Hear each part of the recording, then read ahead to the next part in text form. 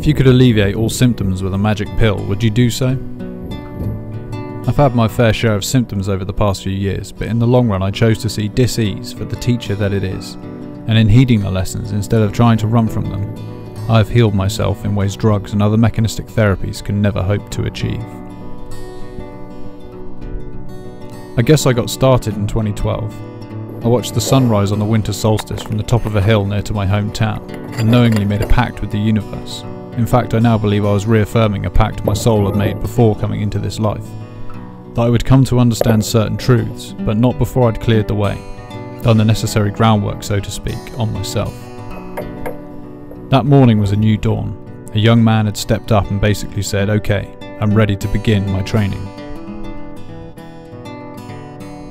Approximately three months later, around the spring equinox 2013, I was on a stag do with a large group of mates. There was copious drinking and smoking, a great deal of what I now consider very low frequency food, and a trip to a strip club, which even back then, when I was still a slave to my lust, I found to be a very weird and seedy experience.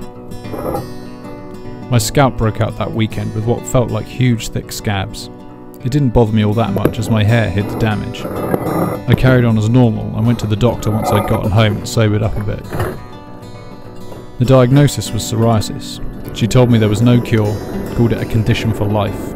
Even then I was cocky, thinking to myself, yeah, not in this body, love. Well, it intensified. Huge pieces of dead scalp peeled off every time I took a shower. It was disgusting. The lotion I'd been given only seemed to hasten the shedding of the scalp.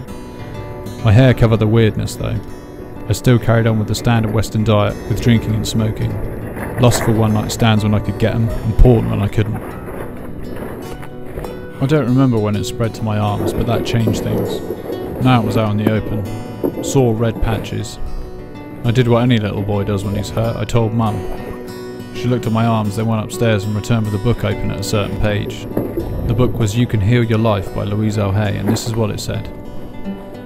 Psoriasis, fear of being hurt, deadening the senses of the self and refusing to accept responsibility for our own feelings. It rang true. I asked to borrow the book and read it cover to cover within the next couple of weeks. Long story short, it wasn't long before I had global psoriasis and it was all I could do to keep it hidden. I was forced to quit my job as a forestry worker because I had become so uncomfortable. Working was hell. I fell out with my boss and my buddies often. I broke off a relationship with a girl who was quite keen on me, said she wanted to help me with my skin. And I began a lengthy period of self imposed isolation, celibacy, and increasing porn use. I was approaching rock bottom.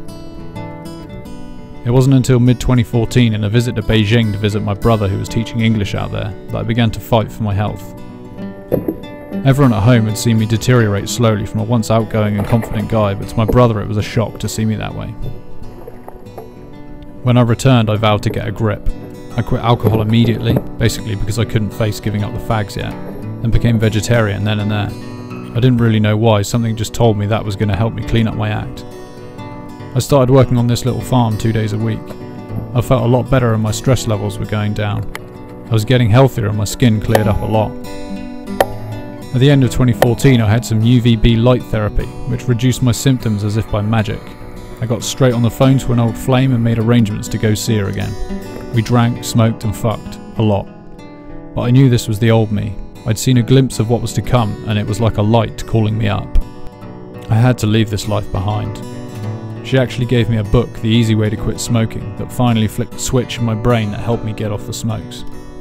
By the start of 2015, I'd learned so much about self help and healing. I realised it was a process, I was governing it, and I'd signed up for it from day one, probably before I was even born.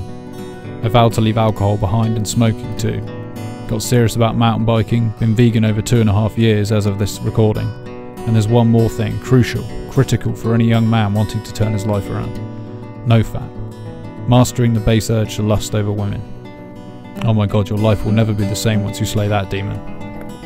I'm slowly getting my life back. I'm building a life at the moment that I've never lived before, in fact. I am closer to knowing myself. This is where the true power comes from. Temet Nosce. It's alchemy. We must transmute lead into gold. If this inspires anyone, I'm glad. You deserve the best in life, my friend. We all do.